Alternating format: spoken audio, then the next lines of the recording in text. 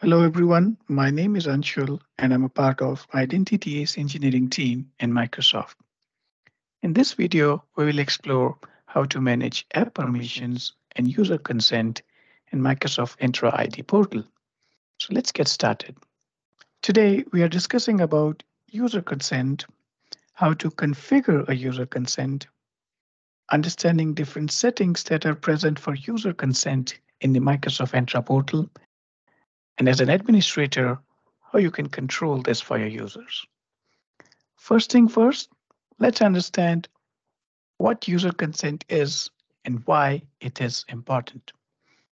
Consent is a process where users can grant permissions for an application to access a protected resource. Based on the level of access required, the app requests the API permission it needs. For example, an application can request permissions to see a signed-in user's profile, read the calendar, or maybe read contents of user's mailbox. Consent can be initiated in various ways. For example, user can be prompted for consent when they attempt to sign into an application for the first time. Depending on the permissions they require, some application might require an administrator to be the one who grants the consent. A user can authorize an application to access some data at a protected resource while acting as the user. The permission that allow this type of access are called delegate permissions. User consent is usually initiated when a user signs into an application. After the user has provided the credentials, they are checked to determine whether consent has already been granted. If no previous record of user or admin consent for required permission exists, the user is directed to the consent prompt window to grant the application requested permissions. User consent by non-administrators is possible only in the organization where user consent is allowed for the application and for the set of permission the application requires. If user consent is disabled or if users are not allowed to consent for requested permissions, they won't be prompted for consent. A privileged administrator can configure whether non-administrator users are allowed to grant user consent to an application. This setting can consider aspects of the application and the application's publisher and the permissions being requested. As an administrator, you can choose whether user consent is allowed.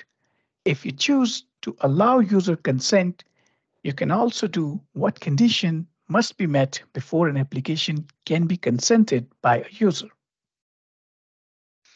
All right, let's move to the Entra portal to check the user consent settings. And under the Applications tab, we can go to Enterprise Application. Here, we can see a tab that says Consent and Permission. Under the User Consent for Application Settings, select which setting you want to configure for all the users. As you can see, there are three main options here. First one is the most restrictive one, wherein it says do not allow user consent. And the second option is allow user consent for apps from verified publisher for selected permission, which is the most recommended one. And this all users can consent for permissions which are classified as low impact for applications that are from verified publisher or app registrations within the organization. If you choose the last option, this is basically allowing your users to consent for all the application that try to access the data of your organization. Okay, moving on to the next step, let's discover how to manage the app consents for apps that are there from verified publishers for selected permissions.